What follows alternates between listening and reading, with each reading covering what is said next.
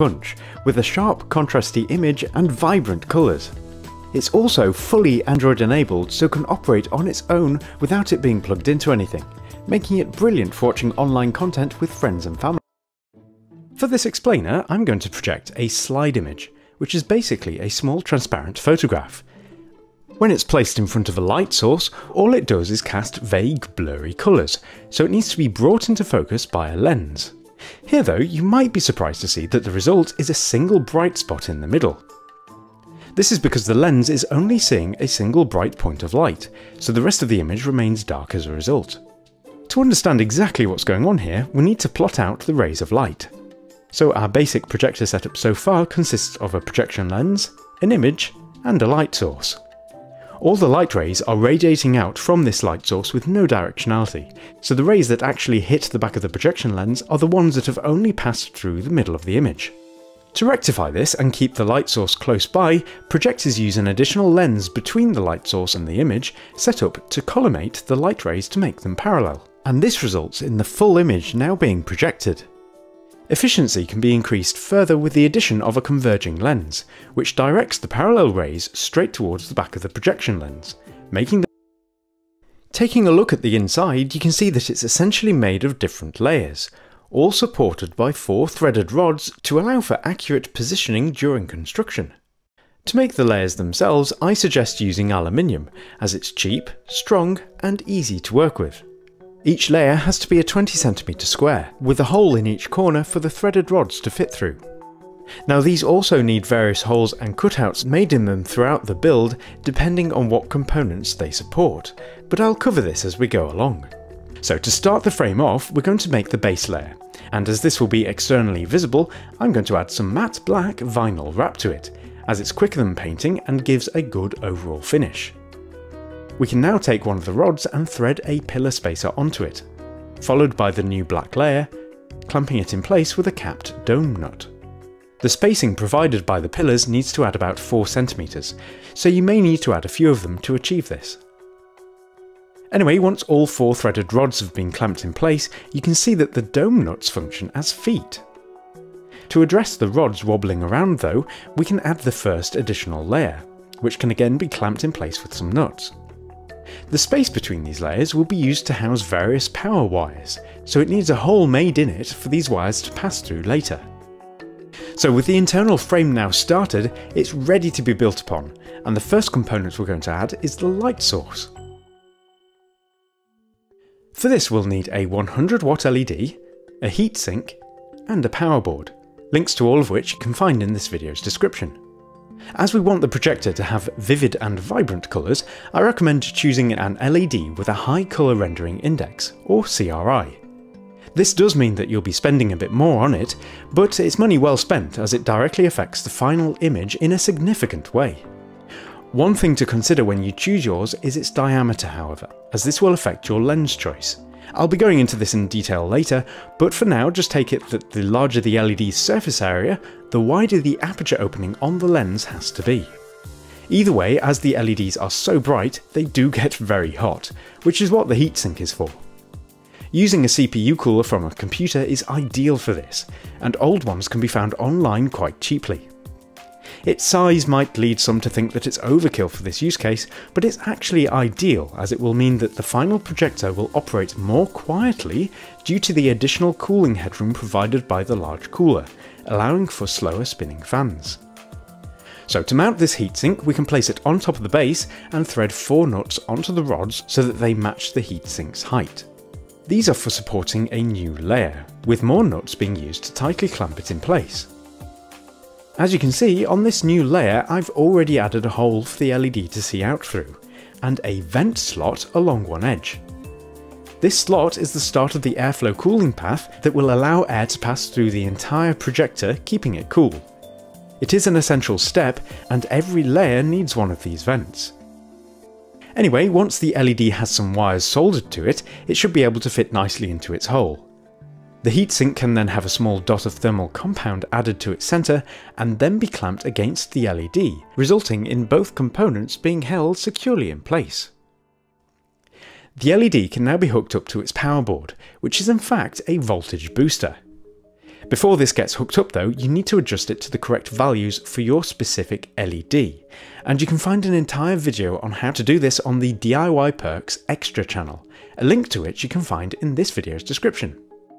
A good place to mount this power board, by the way, is underneath the heatsink's base, as it can make contact with the heatsink here and take advantage of its cooling ability. So with that done and working, it's time to take control over these light rays and quite literally bend them to our will. Our goal here is, if you remember, to take the radiating light rays and first make them parallel, and then direct them to where the projection lens will be later.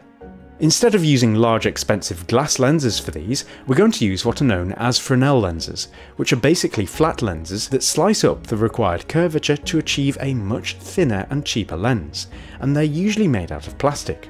They can be bought as a set specifically for DIY projector projects like this, and I've put a link to some in this video's description. Each one needs to be fitted onto its own layer, and again, don't forget the vent slots. Now I've made one of mine black to differentiate it during this video, so the silver one is going to act as the collimator lens, which makes the rays parallel, while the black one is going to act as the converging lens. So the silver collimator lens needs to be mounted in place first, with its Fresnel ridges facing upwards. To achieve collimation, it does need to be precisely positioned above the LED at its specified focal length, which for mine is 90mm. If you don't know the exact focal length of yours, or you want to make sure that it is absolutely precise and accurate, a good way of taking this measurement can be done before the LED got mounted in place by doing a reverse place a scrap piece of aluminium where the LED goes to provide a surface to focus on, and then tilt the whole thing towards the sun, our most distant light source. Now this is going to get very bright, so never look directly at the focused point. Instead, use a pin to poke a tiny hole through a piece of electrical tape and then stick this over your smartphone's camera to block most of the light so that you don't damage its sensor. You can then preview what you're doing on the screen without ever looking directly at the light yourself. The goal here is to adjust the positioning of the lens so that it projects the sun into a single tiny dot. When you're satisfied, take the measurement of this new position and note it down, as this is the lens's true focal length. Now, just to prove that this is a very intense point of light, this dry stick spontaneously combusts when it touches the focal point. Yikes. Anyway, once it's all in place, you can tell that it is in fact working as a collimator because the LED, which is at its focal point, doesn't appear to change in size when you move closer to it. Pretty wild. It's essentially been pinned at infinity, and it's like we're looking out at it through a window. When the LED is lit up, it affects shadows in a similar way. They don't change in size like you would expect from a local light source, it just goes between blurry and sharp. Anyway, after adding some pillar spaces, the next lens can be slid down, but this time with its smooth side facing upwards. In this configuration, it takes the parallel light rays and condenses them down to a single point where the projection lens will be later. For now though, it's time to work on the focusing system. The way we're going to adjust focus is by moving the image layer forwards and backwards, and this changes the distance between it and the projection lens, allowing us to keep the projected image crisp and sharp. This movement is going to be achieved by taking advantage of the threaded rods, allowing for very fine adjustment of focus. To start this off, we'll need a layer with a large cutout in the middle for light to pass through unobstructed, along with, you guessed it, a vent slot. We need to screw a few small pillar supports onto this layer first though, as it's part one of two, and it also needs to have a piece of clear acrylic added over the cutout so that air is prevented from passing through it and instead has to go through the provided vent slot. So to get each corner of this platform to rise and fall in unison, we're going to utilise a set of four GT2 timing belt pulleys. But as you can see, they don't bite the rods, so we need to add some threads to them. An easy way of doing this is to get some threaded inserts and ins Oh, well, uh, they're slightly too large, so a quick spin in a drill with a file trims them down to size. And then they can be clamped in place with the grub screws. Nice.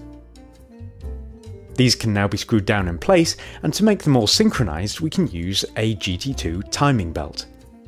The two idler pulleys you see here help to keep it nice and tight over a fifth pulley which has a knob attached. This keeps them all successfully synchronised, so once the second part is added, it will rise and fall evenly and reliably. This second part is actually the most exciting part of the build, as it is in fact the vitally important image source. Now in my demonstration earlier I used this little slide image and as it's transparent light can just shine through it to be projected by the lens. But obviously we want to watch video so we need some kind of screen that light can shine through. And you know what works for that? A small LCD panel with its backlight removed. Small LCDs like this are used in smartphones and you can buy them off eBay along with a control board that adds an HDMI input making it a high pixel density mini monitor. You can of course find links to these in the description and they're really not that expensive, even for a 2560 by 1440 pixel panel. That will provide a superbly sharp projected image, and will be certainly good enough for most use cases, so is my recommendation. Monumental difference. So it's going to be interesting to see whether we can retain this detail in the final projected image. So stay tuned for some in-depth tests later. My particular phone has a smashed back, so was actually a very cheap eBay buy. It is worth noting though that this remarkable 4K panel does now appear to be available separately on eBay with an HDMI control board, though it is rather expensive. I've put a link to it in the description if any of you are interested however. Anyway, if you choose to use a phone too, even if it's just to keep costs low by using an old one that you have lying around, you need to make sure that 1 it actually uses an LCD panel rather than something like an OLED, which wouldn't work for this job. And two, it has to have USB OTG support so that you can plug in a mouse and keyboard to operate it remotely once it's all boxed in. With those checkboxes checked, the first thing to do is dismantle the phone far enough to reach the display. Online phone fixing guides are great for this, and it's not terribly difficult. So with the body and screen now separated, we can mount the body to one of the layers using some right angle brackets. As you can see, I've replaced the battery with a small voltage step down board set to 4.2 volts and added an accompanying 1 farad capacitor, which helps with any power demand spikes. I decided to do this because my particular phone doesn't allow for the battery to be charged when USB OTG is in use, so emulating an infinite battery is the only option I have. If you went with an HDMI control board display instead of recycling a smartphone, it would likely have to be mounted here in a similar way. For both screen types though, we need to remove the backlight system entirely, which usually involves just lifting the various layers out and delicately disconnecting the backlight strip to stop it from illuminating. Don't be tempted to peel off the reflective layer that's stuck to the back of the screen though, as this is the polarizing layer, and the screen just wouldn't display anything if it wasn't there. With the various layers removed, you can now see that it's basically transparent, meaning that it's ready to be mounted onto its layer. I recommend using tape to hold it temporarily in place for this, and then following up with some epoxy to make it permanent. It can then be slid down on top of the focusing platform and screwed to its pillar supports. This now makes the GT2 pulleys captive so that adjusting the knob results in a very even and precise rise and fall. It's worth noting that this system is entirely internal, which makes the build simpler overall. Notice too how the front of this layer is black, which is important as this particular layer is brought into focus by the lens. Anyway, with that we're nearly finished, meaning that the last thing to tackle is the all-important projection lens. There are a few things to consider when choosing your lens, the most important being the lens's image circle. You see, while you can purchase an old full-frame SLR camera lens for next to nothing, SLR lenses are designed to cover a 36 by 24mm frame, the same size in fact of that tiny slide I used earlier. If we were to use one of these lenses in our projector, we would only see the very centre of the screen projected because our display is so much larger than what a full frame lens is designed to cover. So what we need is an old lens type known as large format. These were used in old box cameras and wet plate cameras, and were designed with an image circle that was way larger than those of full frame lenses. This means that so long as you use a large format camera lens, it's likely to cover the entire phone screen with ease. Even ancient ones have great optical quality and are very cheap on eBay. You can, as usual, find the search terms link in the description if you need help finding them. One other aspect to consider, however, is its aperture. The aperture defines how much light a lens lets through, so you'd think that having a wider aperture would result in a brighter image no matter what, right? Well, not for us, because we've got the converging lens that basically makes the aperture irrelevant so long as the aperture opening is physically wider than the LED we're using, like I mentioned earlier. So for my LED, which is tiny at only 16mm in diameter, a lens with an f9 aperture is fine, and there's no loss of light. If I were to use an LED with a larger diameter, it would necessitate the need for something like an f4 lens, which means that it has a much bigger aperture. Focal length is important too, as your lens needs to have a shorter focal length than that of the converging lens we added earlier. This is so that it can focus on the screen while still being in the optimal position for the converging lens. Once you've got your lens, it can be mounted onto its very own layer and slid in place. Again, the positioning of it is vital to get it to work properly.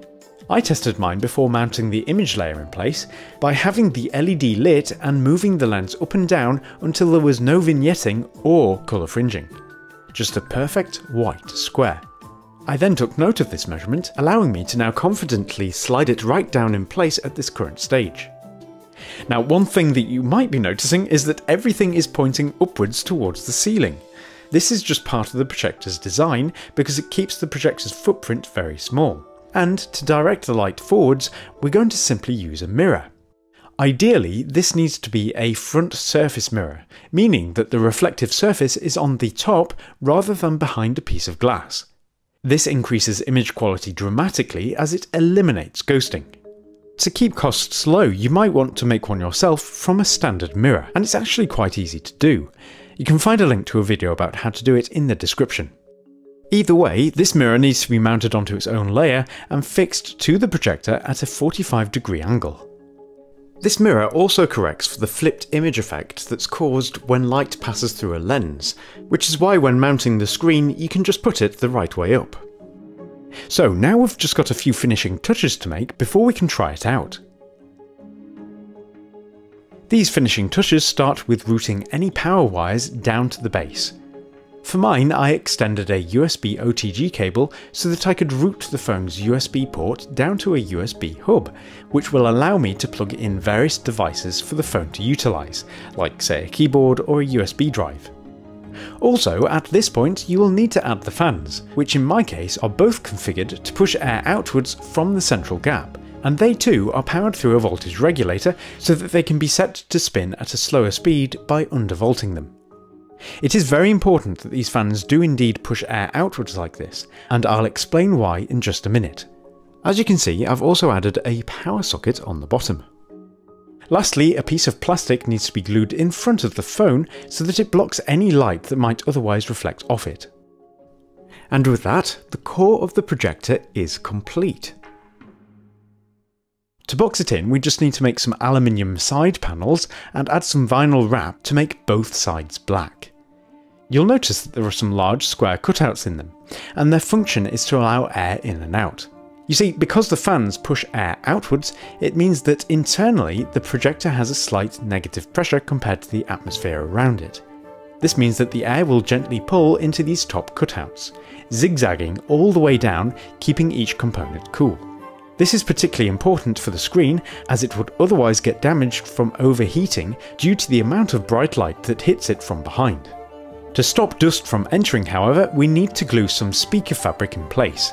This allows air to pass through easily enough, but does catch all the dust. It is slightly transparent however, so to block any stray light from the screen from being visible through it, I suggest cutting out some cardboard and covering them with vinyl wrap. After which they can be glued over the top of these vents, but with a spacing gap large enough for air to still go around them. The reason for going with cardboard here, by the way, is merely to allow the phone's Wi-Fi signal to pass through, which would otherwise be blocked if we used something like aluminium. To mount these onto the projector, I suggest making a few clips. I've 3D printed mine, but you could quite easily make these out of wood. Another thing I recommend is placing a piece of acrylic over the mirror and lens section to stop it from getting dusty too. And I've made the front grille magnetised so that I can take it off and operate the phone directly if ever needed. Once the excess threaded rod is trimmed off and capped off with some dome nuts, the projector is complete.